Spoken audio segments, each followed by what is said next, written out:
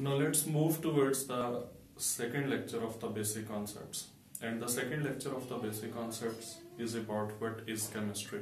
The first lecture was about what is science and now the second lecture is about what is chemistry.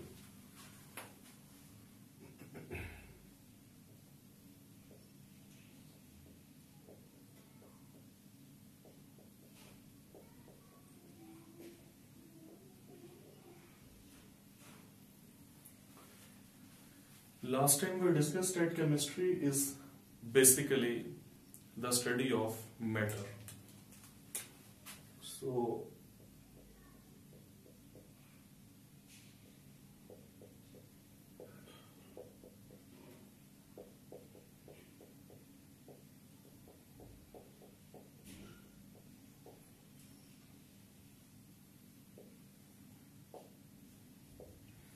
chemistry is the study of matter. Now, what kind of study it is and what features of the matters we discuss.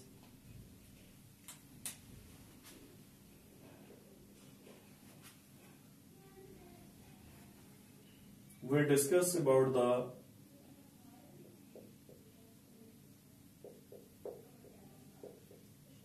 structure and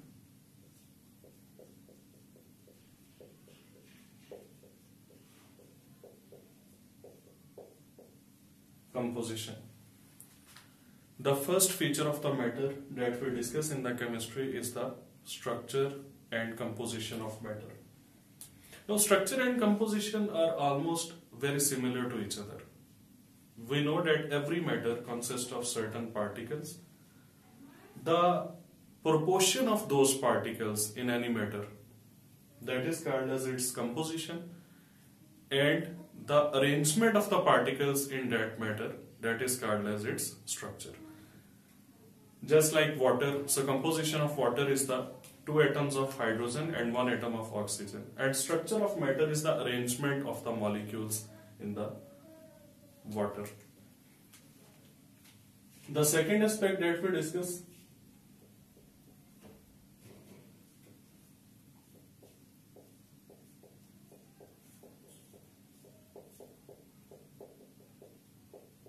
is the properties of matter. Now the properties of matter are of two types.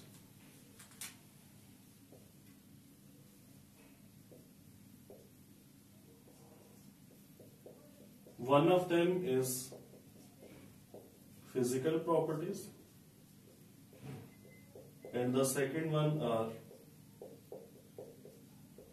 chemical properties.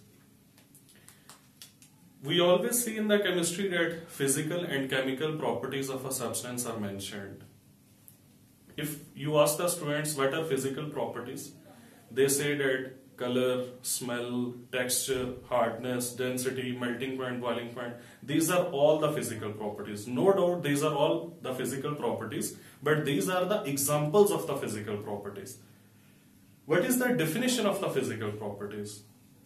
Physical properties are those properties which are discussed without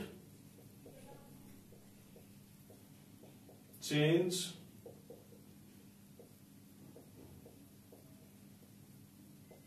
in composition of matter.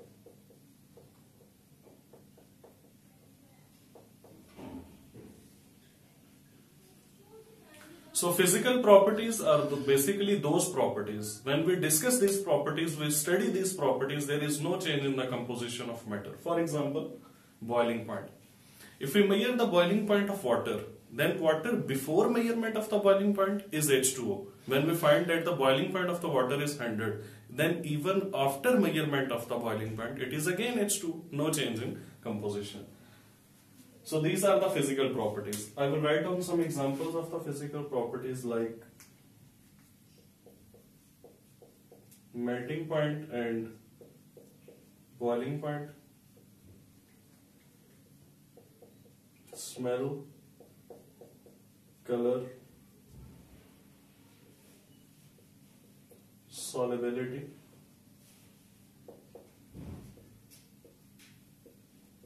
density, etc. These are all the examples of the physical properties. Now what's about the chemical properties? Chemical properties are those properties when we study them change in composition of matter. These are the properties. When we discuss them, the composition of the matter is changed and a new substance is formed. For example,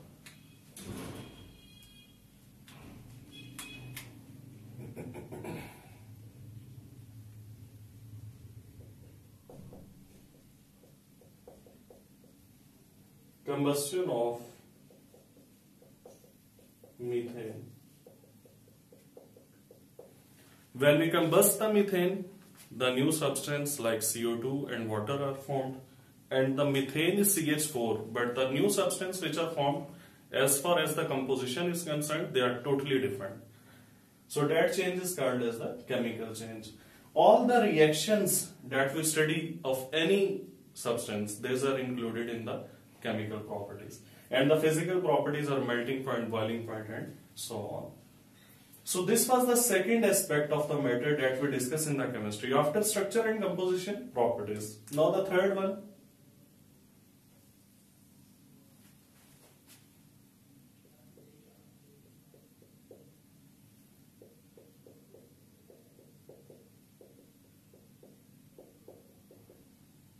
Changes in matter.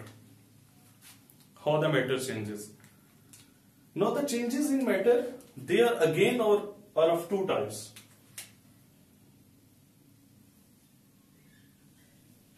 One change is the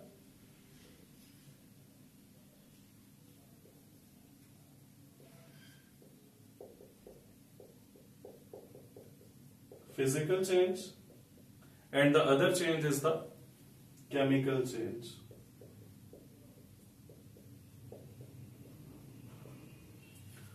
Now, what is the physical change? Physical change is actually the change in one or two properties of the matter, but the composition will not change. For example, conversion of water into ice.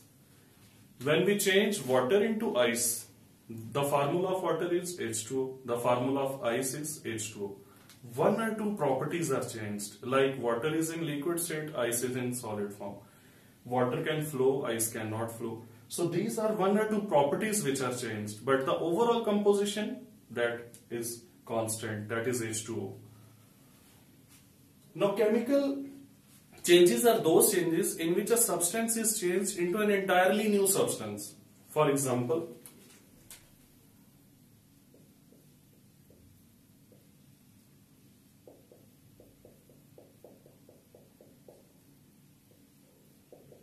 burning of wood. That is a very simple example. You take wood and you burn it.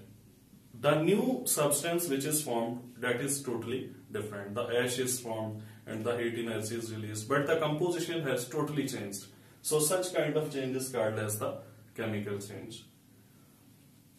Structure and composition, properties of matter, changes in matter and the last feature that we discuss is the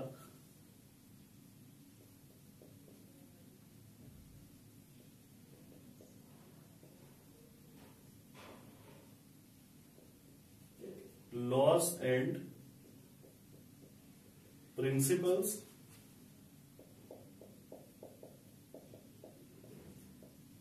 that govern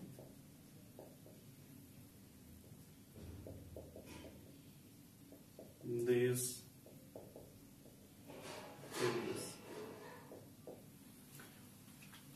What are those laws and what are those principles according to which the change in the matter takes place? there are two basic laws in the chemistry that are discussed. One is the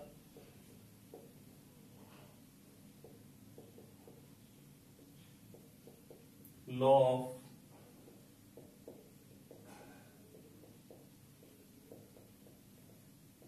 conservation of mass or you may also say the law of conservation of matter? And the second is the law of definite proportions. Sometimes this is called as law of definite proportion and sometimes instead of, of word definite constant is used. Mean there are two names. It may be called as law of definite proportion and it may also be called as the law of constant proportions. Now let us have a slight discussion of these two laws. What is law of conservation